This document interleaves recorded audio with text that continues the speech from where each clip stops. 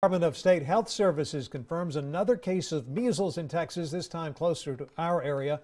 Doctors say there is now a case in Bell County, our sister station in Waco, reporting test results on two other cases are pending. This brings the statewide total for the year to six, with all the others in the Houston area.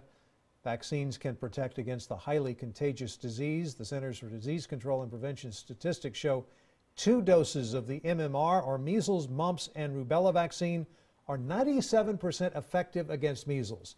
Just one dose is 93% effective. You have to wait until a child is at least one year old before getting the vaccine to make sure it is most effective.